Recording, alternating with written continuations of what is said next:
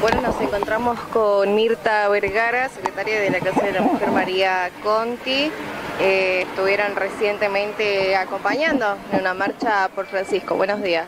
Sí, buenos días, sí. Bueno, como siempre el movimiento de mujeres, ¿no? Acompañando en estas causas también, eh, esta vez por el niñito, por Francisco, que queremos los responsables, queremos saber este quién fue, este, cómo fue la muerte de Francisco, ¿no? Y, bueno, y que pague el que, porque tenemos un niñito menos en San Pedro por una eh, negligencia, por desidia. Este, así que bueno, nosotros como, como movimiento de mujeres acompañamos a los familiares justamente por esta causa que están pidiendo justicia por su hijo, ¿no? Sí.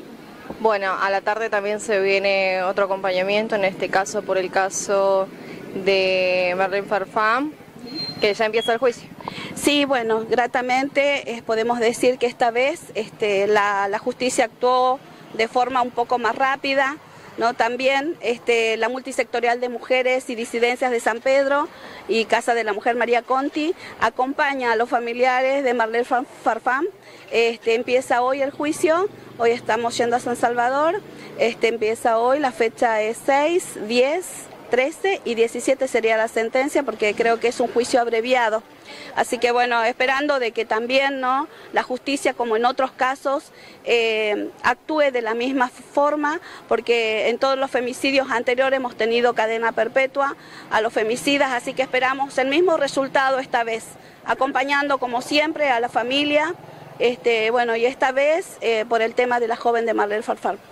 ¿Ustedes tienen alguna red social donde dan aviso eh, para, para ahí para que la gente se entere y pueda sumarse? Sí, nosotros con nuestra página, la página de la Casa de la Mujer María Conti, nos encuentran en Facebook. Sí, sí, sí. Ahí están comunicando constantemente. Constantemente todas nuestras actividades, todo este comunicamos constantemente. Así que bueno, invitamos a todos los que puedan participar y acompañarnos a este papá que, hace dos años anda dando vueltas. Este, y bueno, nosotros no lo dejamos solo. Así que como a todos los familiares estamos ahí apoyando este, en estas causas que, que queremos que el femicida pague por lo que hizo. Muchas gracias. No, por favor, gracias.